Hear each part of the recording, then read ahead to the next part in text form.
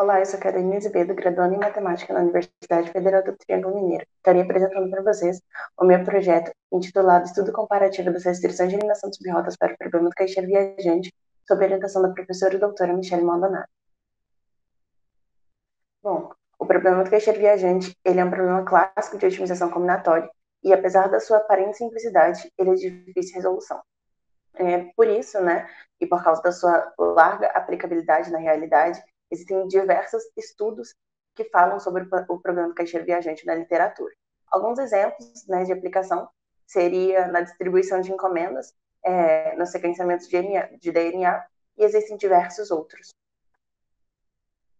Uma definição clássica para o problema do caixeiro viajante poderia ser Dado um conjunto de cidades e conhecendo o custo de se viajar entre elas, determinar uma sequência de visitação passa por todas as cidades somente uma vez e regressa à cidade de origem, de maneira que o custo dessa rota seja mínimo. Assim, o caixeiro viajante ele teria N cidades para visitar, né? ele teria que passar por todas essas cidades apenas uma vez e regressar à cidade de origem pelo menor caminho possível, ou com o menor custo possível. Então, na nossa formulação matemática preliminar, nós teríamos que nossa função objetiva seria minimizar o custo do trajeto, né? Os parâmetros seria CIJ, onde CIJ é igual ao custo do tempo de se viajar de para J. É, minha variável de decisão seria x e j igual a 1, se o caixeiro viajante vai da cidade I para a cidade J, e zero caso ao contrário.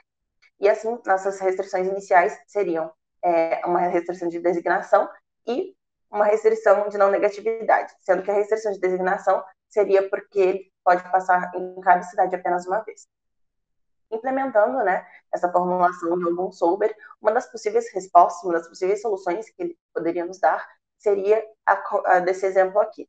Nesse exemplo, está havendo uma formação de subrrotas, o que não é viável para o problema do caixeiro viajante, visto que nós temos um custo de se viajar para todas as cidades. Então, por exemplo, aqui, é, tem seis cidades e ele está dizendo para o caixeiro viajante ir da cidade 1 para a cidade 6 e regressar da cidade 6 para a cidade 1. Só que ele, na, na, sua próxima rota, né, na sua próxima viagem, ele não considera o custo de, sa de sair de 1 até 2 e depois fazer o, percurso completo. Ou seja, aqui o caixeiro viajante ele teria é, mais do que uma viagem a ser feita. Para que isso não ocorra, né, nós temos que adicionar, então, restrições de eliminação de subrrotas. Existem diversas restrições de eliminação de subrrotas nos artigos de revisão John Kahn et al. 2009 e Robert Todt 2012. Eles apresentam diversas outras formulações de outros autores. Aqui nós estaremos destacando a MTZ, de Miller-Tuck-Zemlin, que é uma das mais clássicas formulações polinomiais. Apesar de suas restrições serem incluídas no modelo a priori, ela apresenta uma relaxação linear fraca. E aí, com isso, as outras que estaremos destacando são a GG, de Guest Braid, de 1978, a DL, de Hurst Laporte, de 1991, e SD, de Gerald Driscoll, 2002. Bom, nos trabalhos de John Kahn, é, et al. 2009, e Robert e Tosh, 2012, eles apresentam uma hierarquia né, de algumas formulações matemáticas para eliminação de subrrotas, é, e para fazer essa hierarquia, eles consideram né, a qualidade da relaxação linear, limite inferior. Assim, as quatro formulações citadas anteriormente, MTZ, GG, DL e SD, elas ficam é, em ambos trabalhos em uma posição bem abaixo na hierarquia, sendo que as destacadas né, por John Kahn como melhores seria a, a MCF de Klaus e a SST2, enquanto para Robert né, as melhores seriam a SMCF de Godin e a SST conjunto de inequações né, da, da MTZ é esse daqui, onde o i é, no caso, a ordem em que a cidade é visitada. Então, pela MTZ apresentar uma relaxação linear fraca, né, alguns autores eles passaram a utilizar as suas restrições é, com algumas técnicas para que essa relaxação fosse melhorada. É, em Horst e Laporte, por exemplo, eles aplicam a técnica lifting nessas restrições e eles obtêm esse novo conjunto aqui de inequações. Já Sherali e Driscoll, é, da, da SD, eles aplicam a técnica RLT nas, nas restrições da MTZ e é retornado esse outro novo conjunto aqui de inequações. Gavish Graves, eles apresentam, na verdade, uma, um conjunto de restrições de fluxo de mercadoria única, porém, a, a sua variável ali, ela é bem relacionada com uma das variáveis da MTZ. Então, na MTZ, né, eu disse que o I significava a ordem em que a cidade é visitada. Na GG, é, existe também uma variável que tem uh, um significado parecido, que seria a G e J, que significa a ordem em que o arco é visitado. Assim, o objetivo do nosso trabalho é destacar a hierarquia entre a MTZ, a GG e a DL sob o ponto de vista computacional, utilizando para isso a linguagem OPL, junto com o software Cplex e algumas instâncias para comparação do TSPlib, que é uma biblioteca para problemas do caixeiro viajante.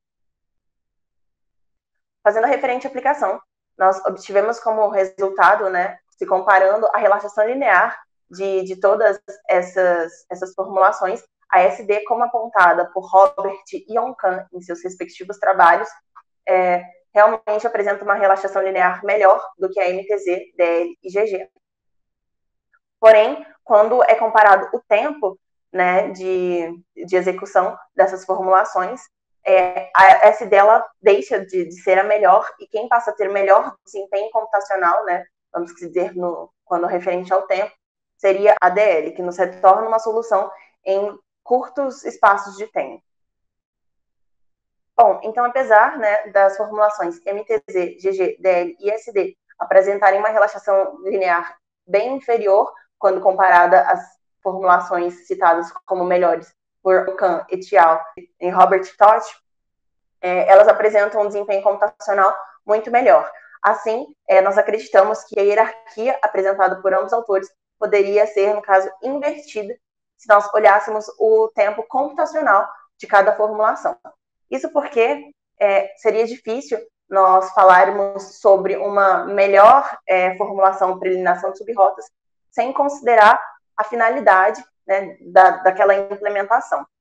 Então, é, tanto Oncan quanto Robert, né, eles consideraram ali o relaxamento linear, é, podendo, no caso, esperar né, é, uma resposta, talvez em algumas horas, alguns dias, enquanto né, essas outras restrições, né, MTZ, GGDL e SD, elas apresentam um tempo computacional super curto para nos retornar uma solução. Então, né, é, de acordo com a nossa finalidade, as restrições consideradas melhores podem ser invertidas ou podem ser diferentes.